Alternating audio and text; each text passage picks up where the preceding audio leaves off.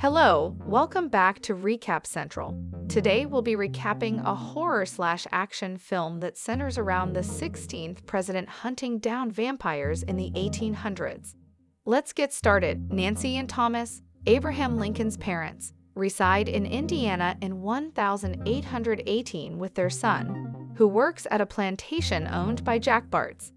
It is there that Lincoln meets and befriends a little African American kid named William Johnson, and it is here that Lincoln intervenes when Johnson is beaten by a slaver. Thomas has been dismissed as a result of his son's conduct. That night, Lincoln witnesses Barts break into his home and assault Nancy. He calls the police. It is the next day that she becomes unwell and dies. The news that Barts poisoned Nancy reaches Lincoln through Thomas. Lincoln vows to get vengeance on Barts nine years after the fact. Upon arriving at the docks, he assaults and is defeated by Barts, who turns out to be a vampire. Fortunately, Lincoln is saved by Henry Sturgis before Barts can finish him off.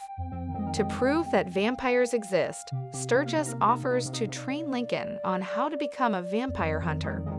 Lincoln agrees and, after a decade of preparation, travels to Springfield, Illinois, to take up his position. Lincoln learns from Sturgis during his training that vampires in America are descended from Adam, a vampire who lives on a plantation in New Orleans with his sister, Vadoma. Abraham Lincoln becomes friends with merchant Joshua Speed and meets Mary Todd while in Springfield. Lincoln develops feelings for Mary, although Sturgis cautioned him not to get involved in any serious relationships. After tracking down and defeating Barts, Lincoln is victorious. Barts admits to Sturgis that he is also a vampire just before he passes away. In a confrontation with Sturgis, he confesses that he was assaulted and bitten by Adam some years ago. To cleanse Sturgis' soul of impurity, the vampire turned him into a vampire, therefore prohibiting him from hurting Adam or any other vampire, since only the living can kill the dead. Since then, Sturgis has been training vampire hunters in the hopes of eliminating Adam's threat. Lincoln is dissatisfied with the results of his mission and decides to terminate it. Nevertheless, Adam discovers their activities and kidnaps Johnson to trick Lincoln into falling into a trap at his property in the South Carolina countryside. In an attempt to enlist Lincoln, Adam reveals his ambitions to convert the United States into a country of the undead which Lincoln refuses to acknowledge. Lincoln and his companions can escape after being rescued by Speed. Lincoln marries Mary Todd Lincoln and begins his political career by working for the abolition of slavery in Illinois. St. Germain tells Lincoln that the slave trade keeps vampires under check because vampires require humans as sustenance, and that if Lincoln interferes with the slave trade, the vampires will retaliate against him. As President of the United States of America, Abraham Lincoln and his wife Mary relocate to the White House, where they have a son named William Wallace Lincoln. It was his signature that sparked the American Civil War, which was to last for over a decade.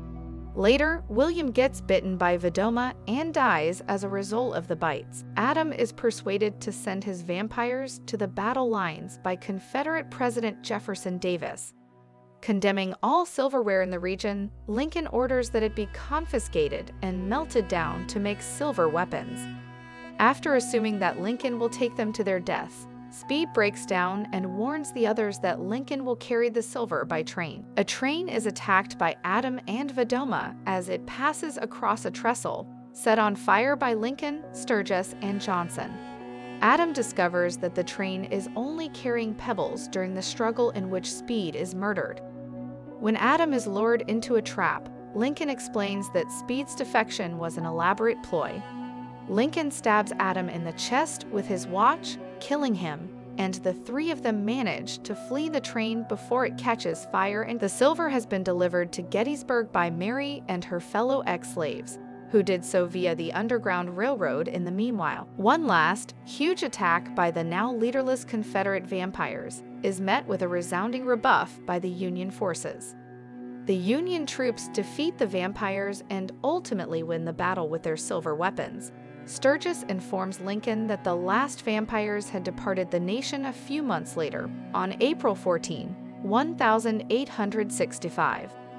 As Sturgis attempts to persuade Lincoln to let him transform Lincoln into a vampire so that he may become immortal and continue to battle vampires, he is unsuccessful.